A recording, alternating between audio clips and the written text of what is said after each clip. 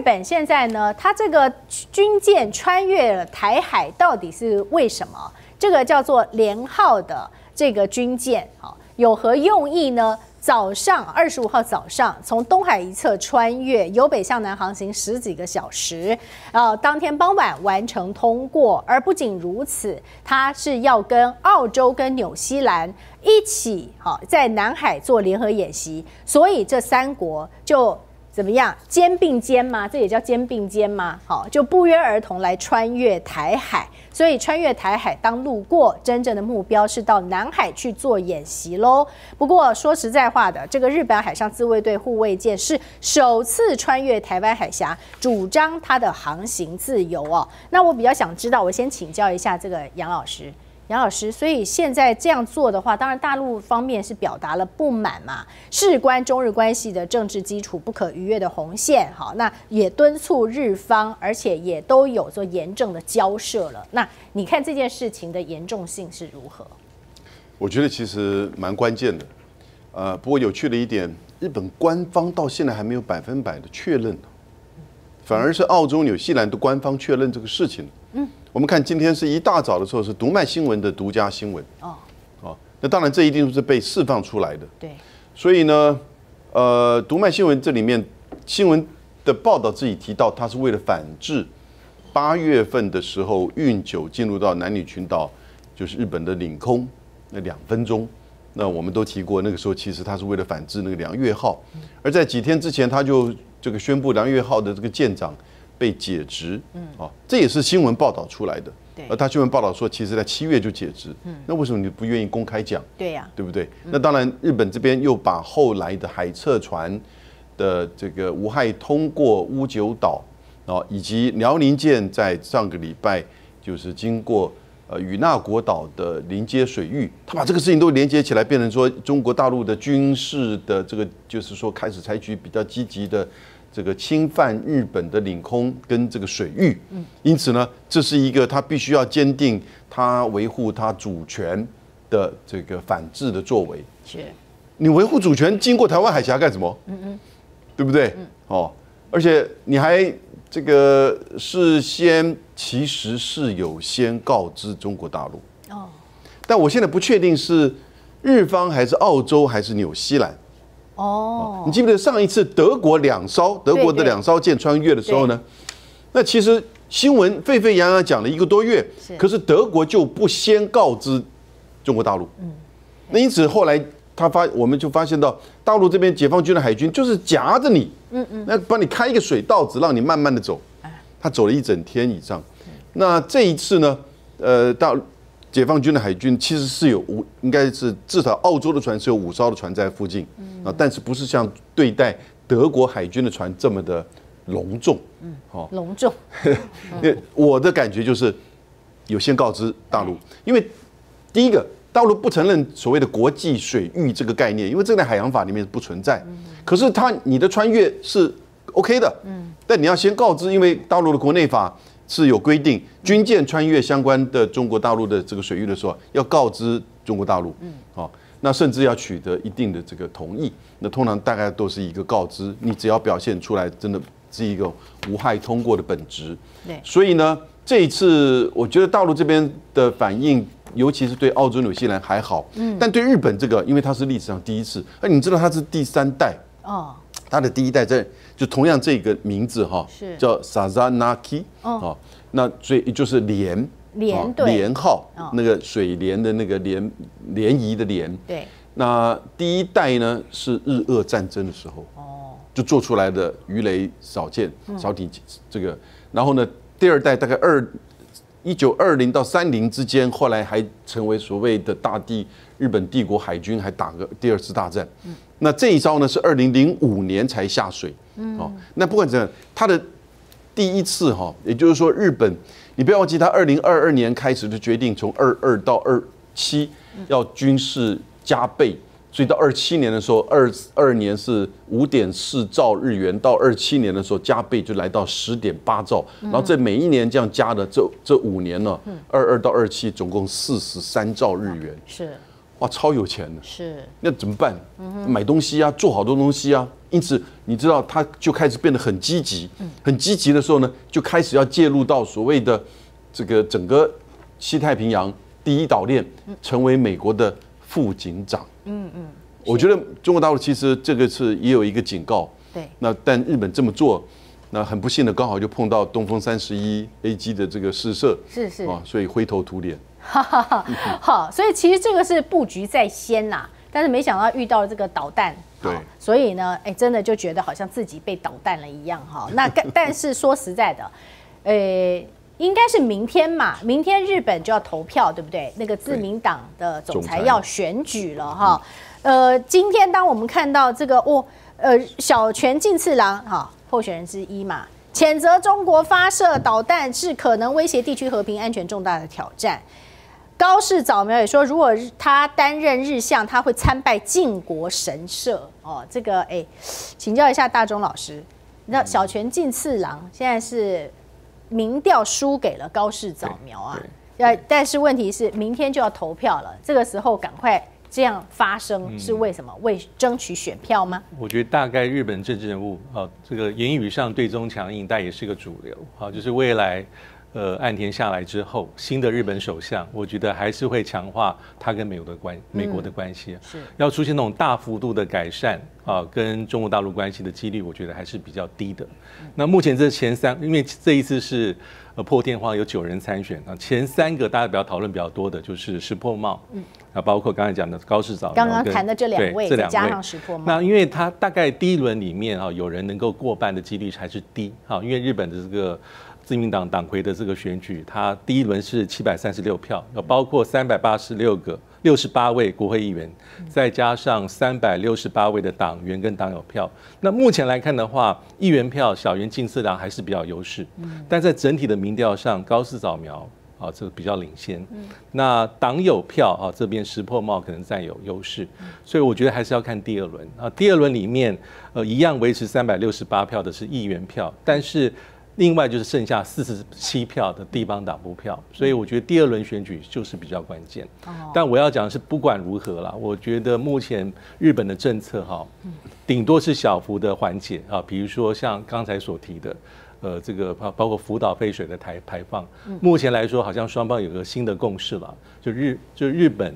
愿意让这个中国大陆等第三方参与，嗯，这个是一个比较大的一个一个变化。但是你看那个刚讲的这个呃日日本的这个驱逐舰是进入到这个台台海，其实我觉得还是真的非常关键。为什么？因为过去其实最长当然是美国，第二名呢可能是呃加拿大，那其他包括像法国、像德国，大概都是蜻蜓点水。但我们一直在看，因为早就从川普任命到现在，美国一直呼吁。美国的盟友不管在台海在南海做一样的事情，对。但日本是一直到现在多少年之后，大家都做过之后，他在这个安田文雄任内在最后一段时间里面临别秋波走这一趟，那就是他是开了一个例子。哎，未来就要期待，不是期待，可以预判还会有第二次或第三次。现在好像日本是怎样？是不怕打仗吗？哦，不怕这样子一一而再再而三哦？你说？罕见首度穿越台湾海峡，那剑指谁？剑指中国。可是大家都看到中国的实力呀。哦，虽然有一些日本的网友感到精神为之一振，还说醒过来了，好，行动也太晚了，好，终于在被打了好几拳之后还击了。可是如果再这样出拳了的话，会不会变成七伤拳？那一旦如果真的发生战争怎么办？现在日本要不要关心一下自己粮食的问题？说为了保护本国稻农，对进口米征收百分之七百七十八的关税。但事实上，现在你说米现在要省着买、省着吃，因为它有很多农业根本解决的问题，比方说是。面积不够啦，老农现在都退休啦，好，还有甚至天气气候的因素啦，影响着它的产量啦。那再过来，如果看看日本，哎，台湾呢，说地缘政治风险更胜过日本，近年粮食自给率一路降到去年只剩百分之三十点七，还比日本的百分之三十八更低。那一旦被封锁，会不会就有比日本更惨的粮食危机呢？大陆方面的媒体甚至也刊出评论文章，告诉大家说：“你去看看日本，日本大米危机警示了我们，要始终抓好粮食稳定、安全供给呀！看看别人，想想自己。但大陆在粮食的问题上面，不是早就有领导人习近平呃看准准，因此呢，就及早在布局，不要让粮食出现危机。”蔡委员。江湖黑道有一句名言啊，就是大哥都知道情势，小弟只会胡闹。美国，你看，哎呀，你发射洲际导弹，有些人告诉我，嗯，大哥对大哥，哎，所以我就很开心，哎，你也尊重我。小弟不知死活，台湾噗噗跳，日本噗噗跳，这大哥导弹是对着大哥去，那。大哥都无所谓，你小弟在叫什么？不知死活是怎么回事？哈，来看粮食的自给这个自给率，日本只有三十七到三十八，台湾只有三十到三十一，然后中国大陆有多少？八十二到八十五，粮食自给率，能源自给率呢？这个日本有没有百分之五都是成问题啊？嗯，那台湾就更不用讲了。不，不管是哪一种能源哈，都非常的低啊。那如果说中国大陆封锁了巴士海峡，你日本就挂啦。嗯，因为你的粮食米主要是来自于东南亚。对，没有没有泰国的米，你能干嘛呢？你的存粮能够吃多久啦？啊，再来，我们讲个不客气的话哈，日本当年在一九零八年曾经。苏联共产党在苏联取得这个权政权的时候，他曾经派兵要去干涉，嗯，这个苏联共产党叫做西伯利亚干涉，非常有名。结果呢，他们的外交大臣哦，外务大臣一宣布了以后，日本人反应是什么？嗯，不是，哎呀，我们大家努力从军去打共产党，不是哎，就赶快跑到街上去买米。战争一发生，什么时候不干？赶快收罗米。就造成日本历史上最有名的米暴动。嗯，啊，这个我们现在很清楚这个历史。是米暴动搞到什么程度呢？所有的城市都都暴动，大家猛的抢米。哦，警察出来抓了几千人。日本要不要重蹈覆辙啊？嗯，但日本后来想说，哎呀，这我这粮食不够该怎么办呢？他就想想说，那台湾可以帮日本人种米。当时台湾人吃的米，好是再来米。对。不吃冯乃米的，那后来日本人派了基友基永吉啊，就跑到台湾来弄弄弄弄弄，那开始有了冯乃米是日本的口味的米，那想着种冯乃米要很多的水田呐，最后才叫八田以一去盖什么？盖乌山头水库，是，所以乌山头水库跟江南大镇是这样，江南大镇也不是日本人盖的，是清朝已经挖好了，他把它接在一起而已啊，接在一起而已哈。所以迦南大建说是八田一的是是错误的观念哦，那是中诶周中先弄的，清朝一个一个诸罗县的一个知县弄的。那回过来我们谈一个问题，台湾变成日本人供应了，现在台湾也没有米可以供应它了啊，所以如果巴士海峡被封锁。日本就等死吧，你还能嚣张什么？你莫名其妙嘛。是，那大哥都不紧张，你小弟紧张什么？是，的确。好，来，我们要继续来请教一下这个，嗯，杨老师哦。刚才我们一直在谈军武的话题哦，那现在呢，其实要看看美军自己的实力。美国现在说他们有一个驱逐舰哈，普雷贝尔号，二十三号从 San Diego 出发到日本横须贺去部署。这是要应对二零二七了吗？好，是要为开战做准备吗？好，但你说现在他说他是唯一能搭载高能镭射武器、有打击无人机能力的舰艇啊，呃，可发射的功率六十千瓦镭射光束。好，所以也知道说未来是一个无人机的战场，他要做好准备，所以他现在派这样的驱逐舰。但是你说要有镭射光束六十千瓦，大陆没有吗？还是更强力的镭射光束呢？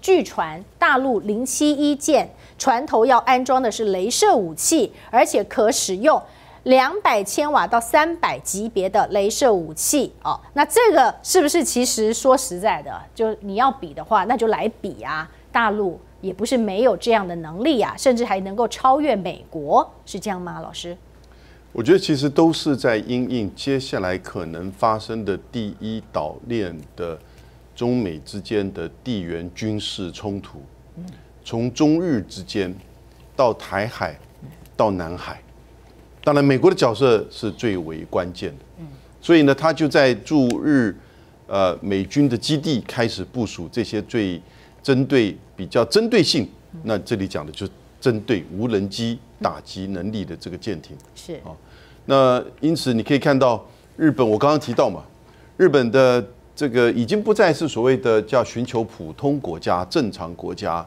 或者是专守防卫。如果说今天他的明天出来的新首相是那位女性的首相高市早苗，嗯，她是最右翼、最保守，哦，其实相当男性化的，就是日本的议员，两千五零五年就开始在做议员，做了很多不同职位的，就是说这个大臣。可是呢，他是要去用首相身身份参拜靖国神社，要修改宪法，反对女性继承皇室。所以这些整个东西哈，我觉得其实从中日之间接下来的地缘的冲突，在台海，尤其台海之间的不对称作战呢，美国开始在做这种布局。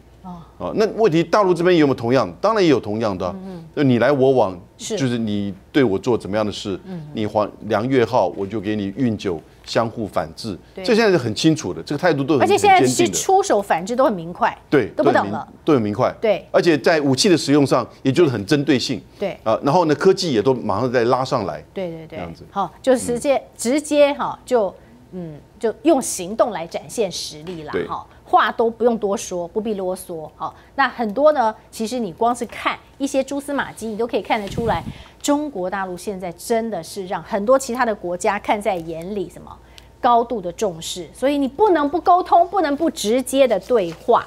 来，我们看一下，请导播给我们看一下下一张哈，呃，在这里我们其实看到呢，大陆外长王毅他这次呢在联大，然后跟很多其他国家的代表，你看到的是大家围着他，非常热情。那玉渊潭天也发了视频给大家看到，哦，好像意犹未尽啊，在那里一直抓着他，拉着他的手要跟他交流，有没有？好、旁边围的都是人呐、啊，这个大陆外长王毅现在是好像这个万人迷一样啊！你看旁边的人都围着他，好，但是呢，这凸显的是什么？凸显出中国的地位、它的分量、它的重要性。所以现在看到的都讲美英澳，美英澳不是有 AUKUS 吗？但是除了美国之外，你看英国在干什么？澳洲在干什么？英国好，我们光是讲英国好，英国呢现在是说有中英两军举行防务战略磋商，哪一天？就昨天啊，九月二十五号哦。你看到了吗？中英两军是在中国大陆举行这个防务战略的磋商，针对国际地区安全问题深入交换意见，要直接跟中国开会，直接跟中国谈。还有澳洲，澳洲的国库部长哈查莫斯二十六到二十七号要到中国访问呐、大陆方面也公布了这个消息，那告诉你的是什么？在二十四号的时候，王毅还跟澳洲的外长黄英贤说。哎，这个中澳的关系要持续推进，然后王毅还说有取得正面的进展。那澳洲现在要赶快要跟中国大陆要谈谈的事情可多了，因为你说经贸不合作的话，对澳洲可是有伤啊，所以直接部长就访华来了，要找中国大陆来请教老师。对，第一个哈是现在是第七十九届联合国大会开议期间，而且是进入到联合国大会的总辩论。嗯，那这个场合里面啊，就是一个外交的场合，所以王毅这次去，因为习近平没去，他就有这样的任务。是可以看到他会晤很多国家的，包括外长或是重要的高层。嗯那大家可能还没有注意到，是王毅在这个呃说话的过程当中，他有直批美国，批什么？批人权议题。啊，好，就是说双标了，它主要是指的是包括像是、呃中东的局势。新中东的局势拿来跟。呃，过去大家这么关切中国大陆内部的一些人权议题，他用这样的方法来说，其实因为联合国是个大的场域，有一百九十三个会员国，所以里面可能不是我们所熟悉的，只是西方国家在内，欧美国家没有，它很多是发展中国家，是。而且中国大陆在里面有它的朋友圈啊，所以这个对中国大陆也是相对而言是比较友善的一个场合。嗯那再讲啊，包括澳洲、英国的高层访问中国大陆，这就是我们目前所看到的。因为澳洲哈，即便是艾班尼斯政府，它现在在安全上还是跟美国靠得很近，对。嗯，包括刚刚讲的这个台湾海峡的穿越，但是在经贸上，其实艾班尼斯政府跟中国大陆的这个关系的回暖已经走了二十几个月。其实从这二十几个月看起来，从高层互访开始，黄英贤，然后在双方的这个互，尤其是澳洲总理访问中国大陆，所以代表什么？代表过去莫里森政府执政时期的中澳关系这么差的状况已经回温，所以中国大陆就有一些它的作为，就是棒子跟胡萝卜，就把过去啊一些近的一些东西慢慢在恢复，从红酒。煤炭、嗯大麦，好，最后要到龙虾，所以我们可以看到这整个过程。所以这就是国际关系。我觉得就是不是完全只有黑和白，黑和白安全跟军事只是其中一个层面，其他还有一些在经贸投资比较软性，可是它很重要，对于两国的关系而言。对。对，当然一方面也要听听看这个蔡委员怎么来看这次中方在联大所凸显的分量哈。但是呢，这个前面有一张电视墙哈，我有一个问题要也要请蔡委员来帮我们来评评理，什么呢？那就是啊。中国大陆其实对于中东如何来推进和平，其实早就已经讲过他的立场，不知道多多少遍了。好，那对于俄乌战争的立场也表明的非常的清楚了。可是在这个时候呢，我们看到的是泽伦斯基他跑到联大，他在干嘛？他在批中国呀。他这次呢，当然他有他的任务，他要推销他胜利计划。可是他说，中国是一边推销缺陷和平方案，一边在帮普丁瞄准乌克兰核设施。中国跟巴西提的指战方案跟我的计划是有冲突的。他说，中国正使让他自己的努力变得非常的复杂哈、哦。讲到这里，那我们要问的是，那你这边你在那里骂，那另外一边你的乌克兰的外长还跟王毅呢在那里怎么在那里互动，显得非常的良好。怎么这样呢？然后你泽伦斯基在联大，你在发表演说，结果有网友就发现，哎，多少人在听啊？算了一下，七百七十五个位子，怎么只有一百四十九个座位有人呢？还算了比例，大概占百分之十九点二，哈，还不到两成的人是你的听众哦，包括看手机的人啊。来，蔡委员，有时候人在走衰运的时候，哈，都会不知道自己手衰运了，老是做一些衰事，哎。哎，大家不要忘记啊，就前几年而已啊，两年前啊，嗯，泽伦斯基也跑到联合国大会去演讲，对。掌声不断，风风讲一句就有个掌声，讲两句有掌声。对，现在讲完了，没人理他，是，大家看手机，他讲完就走了，也没有掌声啊。嗯，呃，空位，空位，啊，空位，空位，完全完全已经不是当年的堂前燕了哈。我觉得 他脑筋已经不太清楚，也不怪他，也输成这样子，他自己也知道说未来命运已经很惨了啦。乌克兰也会找他算账，不要以为现在只要要不到钱，他就没有功用，就会把所有责任都归他，连败选责任都会归他。是，就是乌克兰的特色，再加上他不是乌克兰人，他是犹太人，所以下场会更惨。所以只要一打输了，他赶快卷着屁股赶快跑吧。嗯，他说中国的和平方案有缺陷，那有缺陷你提个完整的嘛，对，因为你是当事人，我们是旁边人帮你忙而已啊。是，对，有缺陷你你也有值得你批评吗？嗯再来，他说帮普丁瞄准乌克兰核设施，你乌克兰有核设施吗？你们很好笑，你这没核设，你的扎波罗的核电厂早被俄罗斯在第一次战争里面就被占走了啊、怎么会算是你的嘞？哎，然后帮普丁瞄准，如果中国要帮普丁瞄准的话，你乌克兰早就挂了。哎，就是因为西方欧美国家全部在帮助你，才可能撑那么久啊。嗯，不然呢，你撑不到三个月嘛，早就挂了，你还能干嘛啊、哎，所以现在泽伦斯基真的是麻烦了，他这次来还要见川普巴西，结果川普还不见他呢。对，川普当然不见他啦，嗯因为川普没有踹他一脚都不错啦。川普现在为了自己选举，一定头也很痛啊。嗯，是，所以这个泽伦斯基已经已经拜拜了啦，他还讲的什么胜利计划。今天最后呢，还是要由秦教官再一次的跟大家推荐这个非常好用的产品，我自己也很喜欢，它就是 KS 皇家呵护抗光清爽高防晒系数的凝露，哈，非常的清爽，而且呢，这抗紫外线非常的有用，欢迎大家能够多多的利用我们的中天快点购平台来选购哦，并且还可以打 CTI 七九八 CTI 七九八，我的推荐代码可以享有额外的折扣。朋友都知道我是很挑剔的，防晒乳我选 Kiss 皇家呵护抗光清爽高防晒凝露因为它有媲美蓝光神盾的乍早植萃，保护我在阳光下延缓肌肤老化，维持青春弹力。可以防御工作环境里的三 C 商品、各种光源对肌肤的伤害，擦起来清爽不黏腻。我特别喜欢它做到海洋友善，三百六十五天，天天抗光抗老化，是我的保养日常。你呢？呵护您，呵护全家人，专属你的 KS Royal Care 抗光清爽高防晒凝露。